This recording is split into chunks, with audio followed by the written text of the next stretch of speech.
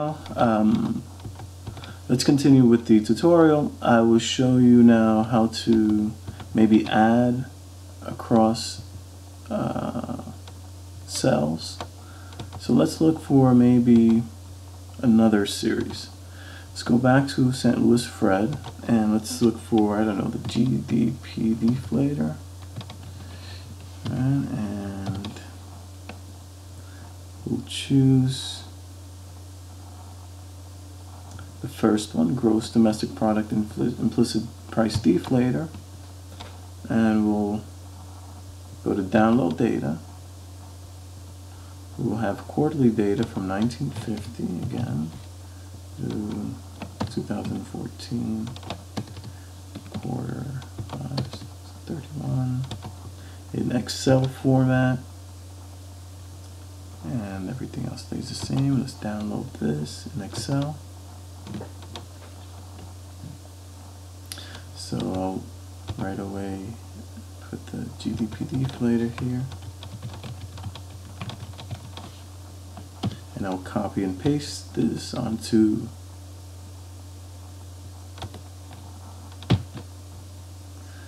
my existing work file.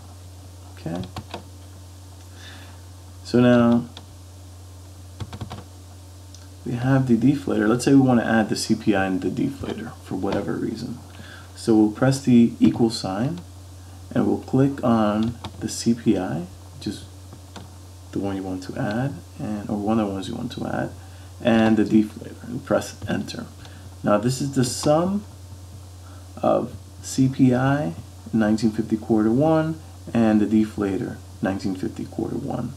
I can holding the left mouse button, drag this down and that copies the formula throughout.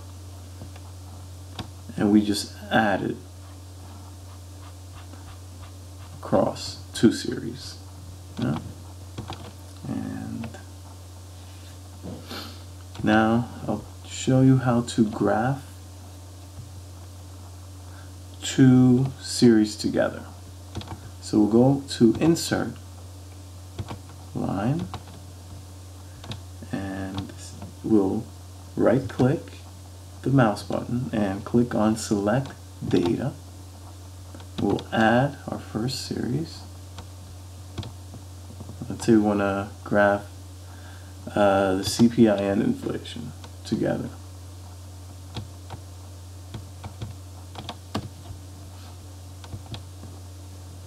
So we'll select the CPI first. Click OK. We want to add a second series. And the second series we'll add is going to be uh, the inflation rate, for example. And the values for this series is this. Okay, we'll press OK. Now we have two variables on the y-axis and we want to add the x-axis. So we'll click on the dates for our y-axis and press OK. So when we look at this graph, we see that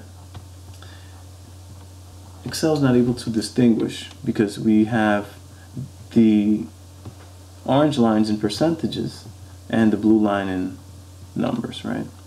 So what we can do is add a secondary axis by clicking on the line and when you see it turns this way, right, with a little square bubbles around, you would right click your mouse right, and say format data series.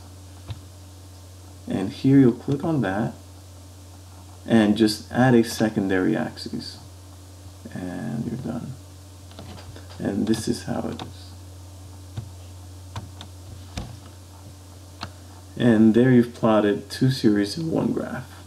And this y-axis is for the percentages and the second axis is for the CPI.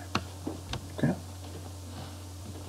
Now the last thing I want you to note is to answer your questions in different worksheets, right? So for question one, I want you to answer in one worksheet and question two on uh, another worksheet. So in order to do that, I'll show you. A worksheet is just the screen you see here. And to add a second worksheet, you just click on this add button and that adds a second worksheet. And you can rename these by right clicking your mouse and clicking on rename. And let's call this question one.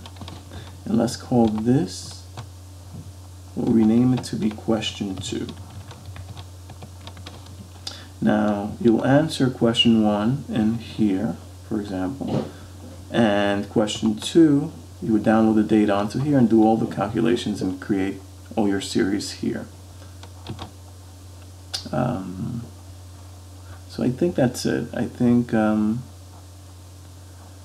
this is all you need to be able to efficiently complete your projects. And of course, if you have any questions, feel free to email me or visit me in my office hours. Enjoy.